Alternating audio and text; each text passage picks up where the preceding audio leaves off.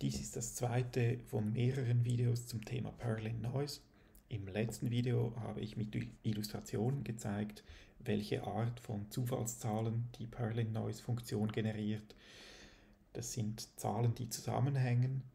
Es geht immer rauf oder runter, aber nie mehr als ein kleines bisschen und so entwickelt sich über Zeit entweder in einer Dimension eine Art Kurve oder in zwei Dimensionen eine Art Terrain, kannst du dir vorstellen, oder in drei Dimensionen sogar übereinander gestapelte solcher Terrains, solcher Flächen aus Werten zwischen 0 und 1 und jede dieser Flächen ist nur ein klein bisschen anders als die davor kommende. Und in P5 suchen wir jetzt einmal nach dieser Noise-Funktion. Du kannst zum Beispiel mit der Suchfunktion deines Browsers, du kannst Neues schreiben, dann springst du an den rechten Ort. Es ist hier unter Math, unter Mathematik zu finden. Und es gibt drei solcher Funktionen. Die erste ist die, die diese Kurve generiert, die diese Perlin-Noise-Zahlen generiert. Die zweite bestimmt, wie detailliert diese Kurve ist. Du kannst die Form oder die Heftigkeit dieser Kurve ein bisschen beeinflussen. Kannst äh, sehr viel ähm, Ausschläge auf der Kurve haben oder eine sehr ruhige Kurve. Und die letzte Noise Seed Funktion, die bestimmt, ähm, wie die Kurve geformt ist. Normalerweise ist es so, dass jedes Mal, wenn ein Programm ausgeführt wird, eine neue Kurve generiert wird.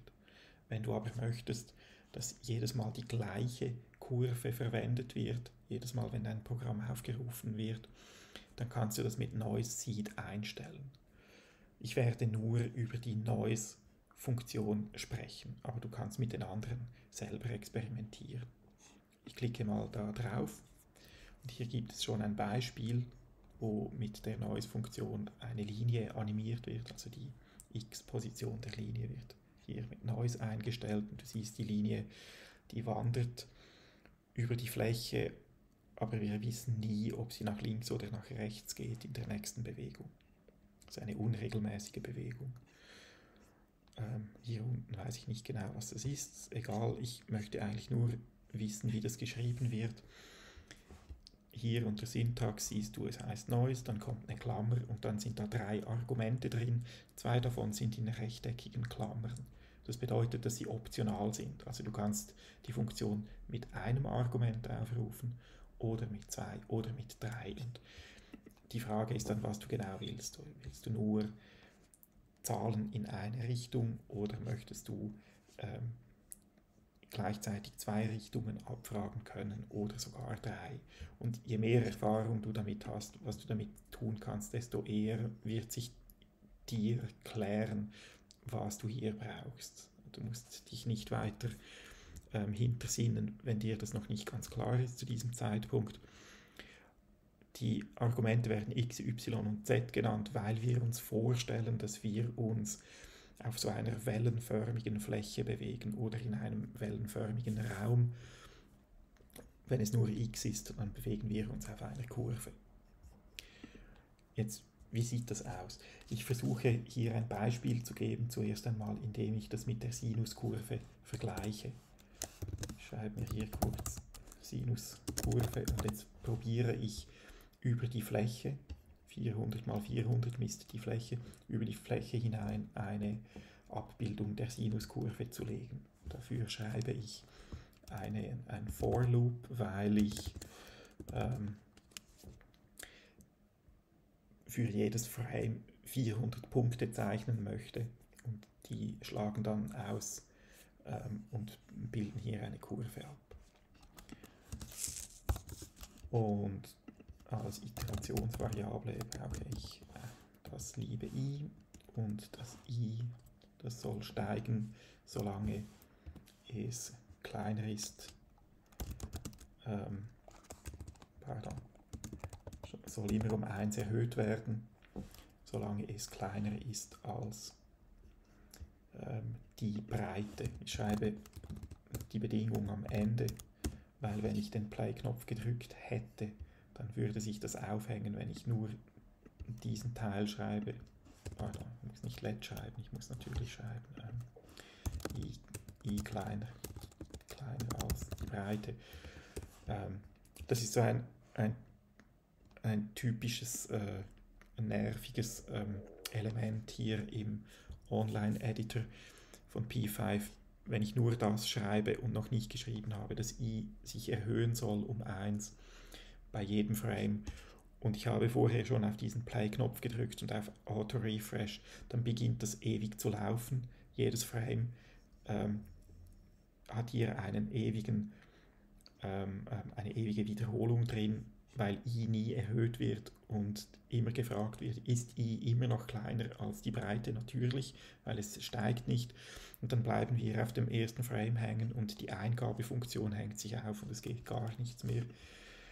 Darum habe ich mir jetzt angewöhnt, das immer zuerst zu schreiben, hier hinten immer zuerst i gleich i plus 1.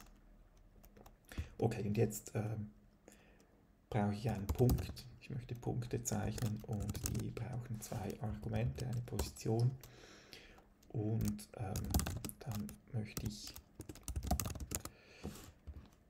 hier Werte, ich setze es mal auf 0 und dann Play. Und jetzt werden hier 400 Punkte gezeichnet, weil 400 mal zählt es rauf, dann ist dieser Wert erreicht von 0 auf 399 und da oben ganz klein sind diese 400 Punkte. Jetzt kann ich ähm, das i verwenden als x Position und jetzt sehe ich da oben auch schon die Linie. Wenn ich jetzt äh, y auf 100 setze, dann kommt die runter. Selbstverständlich könnte ich gleich i hier hineinschreiben, aber ähm, ich mache jetzt hier diesen extra Schritt. Ähm, einfach so. Und anstatt 100 möchte ich jetzt hier ähm, die Werte, die, dieses i benutzen, um die Sinuskurve, die Sinusfunktion zu füttern. Also ich schreibe Sinus und ähm, da schmeiße ich dieses i rein. Also i wird immer höher, wird immer größer und die Sinusfunktion lässt mir Werte zwischen minus 1 und 1 raus. Jetzt, ähm, das wird jetzt nicht so gut funktionieren aus verschiedenen Gründen. Erstens einmal will ich nicht minus 1 und 1. Da oben sehe ich auch schon irgendetwas Lustiges. Wahrscheinlich eine Sinuskurve, sehr verpixelt. Ähm, ich multipliziere das mit, sagen wir mal, 180. Ähm, und jetzt kriege ich hier etwas ganz Seltsames. Das sieht aus wie eine zufällige Verteilung. Es ist zwar so ein bisschen ein Muster absehbar, aber nicht das, was ich erwarte, also sicher nicht die Sinuskurve. Woran liegt das? Es liegt daran, dass i von 0 auf 399 raufgeht und dann ist diese Bedingung hier nicht mehr gültig, dann ist i äh, gleich groß oder größer als, als die Breite, also wird abgebrochen. Aber diese Werte, das sind ganze Zahlen und die Sinusfunktion, die will natürlich Werte ähm, zwischen 0 und 2pi. Ähm, also Werte in, in, der, äh, in, in der Einheit Radiant oder auf Englisch Radians. Und ähm, ich könnte jetzt versuchen, da oben schon ähm, äh, 400 geteilt durch 2pi zu rechnen oder irgendwie sowas und dann wird es kompliziert. Ähm, was ich auch tun kann, ist eine Übersetzung es gibt die Funktion Radians und die übersetzt von Grad nach Radians. Und dann kann ich das i hier hineinschreiben und jetzt sehe ich eine Kurve. Jetzt äh, geht mir diese Kurve hier oben raus ähm, und das liegt daran, dass äh, ich hier von 0 auf 1 raufgehe und dann komme ich wieder runter, dann bin ich bei 180 Grad, also einmal um den Kreis rum, auf der anderen Seite runter. Und jetzt gehe ich unten durch beim Kreis, dann wird Sinus kleiner als 0 und darum wird diese Position hier äh, außerhalb, liegt außerhalb der Fläche. Jetzt, wie kann ich das korrigieren, wenn diese Werte, die die Sinusfunktion liefert, zwischen minus 1 und 1 liegen, dann kann ich sagen, ja, ich möchte ähm, 1 dazu zählen und dann kriege ich Werte zwischen 0 und 2 und nicht mehr zwischen minus 1 und 1. Also schreibe hier plus 1. Jetzt, das nützt natürlich nicht viel, weil das bedeutet dann hier äh, einmal 180 ähm, Punkt vor Strich, darum braucht es eine Klammer mehr. Und jetzt habe ich die Resultate der Sinusfunktion 1 dazugezählt. Jetzt ähm, teile ich es durch 2 und dann kriege ich Werte zwischen 1 und 0. Und jetzt ist hier unten 180. Da habe ich die Sinusfunktion und ähm, das ist eigentlich ganz okay, lasse ich das mal so. Und dem gegenüberstellen möchte ich jetzt eine andere Kurve, nämlich ich möchte wieder 400 Punkte zeichnen. Kann ich das mal copy-pasten hier. Es wird eine Fehlermeldung geben.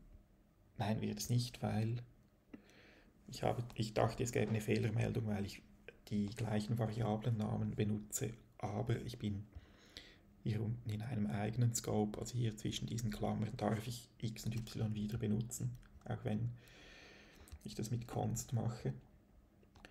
Ähm okay, jetzt möchte ich nicht mehr die Sinus-Funktion brauchen, sondern hier brauche ich jetzt eben Neues. Jetzt äh, gibt es eine Fehlermeldung, äh, schnell, schnell Neues schreiben und hier kommt jetzt wieder das i hinein. Und jetzt habe ich da oben irgendwas komisches. Ähm, jetzt muss ich das runterkriegen und das könnte ich tun, indem ich hier die Translate-Funktion verwende und sage, ähm, ich gehe irgendwie 200 Pixel nach unten. So. Jetzt, warum liegt das so eng beieinander? Weil Noise generiert Werte zwischen äh, es mal rauslassen hier. Das alles ein bisschen verlangsamen. Ähm, aber das sind, hoppla, schon 5000 Werte. Das sind alles Werte zwischen 0 und 1. Ähm, weg damit, sonst wird das hier zu langsam. So, das sind alles Werte zwischen 0 und 1, clear. Weg. Ähm, und dann sehe ich hier natürlich nicht viel Ausschlag. Jetzt könnte ich auch das mit äh, 180 äh, multiplizieren wie oben. Und das sieht jetzt noch nicht sehr zusammenhängend aus. Und das liegt jetzt eben daran, dass ich zu schnell über diese Kurve hüpfe.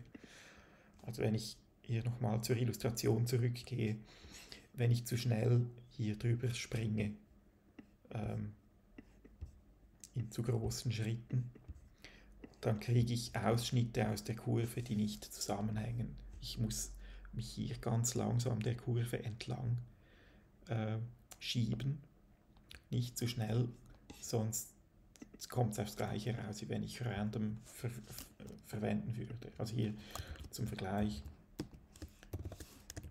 das Copy-Paste und dann tatsächlich random einsetze, dann sieht es ähnlich aus, nur dass es hier jetzt noch von Frame zu Frame immer anders wird. Ähm, und es dann so eine sich bewegende Wolke. Immerhin habe ich hier, bleibt es hier gleich, also die Kurve bleibt innerhalb der Ausführung dieses Programms, ähm, hat die gleiche Form. Aber ich springe zu schnell drüber, dass dieses i, also in einer Schritten ähm, über die Kurve springen, das ist das sind so große Schritte. Jetzt gehen wir mal, machen wir es kleiner und jetzt beginnst du schon hier ein bisschen die Kurve zu sehen. Und wenn ich es noch kleiner mache, jetzt habe ich die Kurve. Also je nachdem, wie groß die Schritte sind, die ich benutze, um hier über diese Kurve hinein zu, zu gleiten, mich darüber zu bewegen, ähm, je nachdem wird das besser abgebildet oder weniger, weniger gut abgebildet. Oder äh, kriege ich zusammenhängendere Werte oder nicht. Und ich kann das noch langsamer machen, also wenn ich jetzt auf 1000, 1000 runtergehe, dann bewegen wir uns hier langsam nach oben und irgendwann geht es wieder runter. Das sehen wir jetzt gar nicht. Und was ich jetzt tun kann als Trick ist, dass ich, wir gehen jetzt mit dem i von 0 auf 400.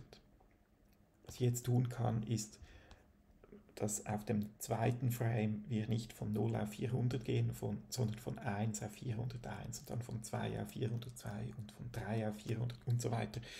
Und das kann ich tun, indem ich ähm, Frame, Count, Frame Count verwende. Also zuerst einmal hier oben, wenn ich da Frame Count dazu zähle, und Frame Count, das ist ähm, die Anzahl vergangener Frames, ähm, dann kriege ich hier schon mal die bewegte Sinuskurve.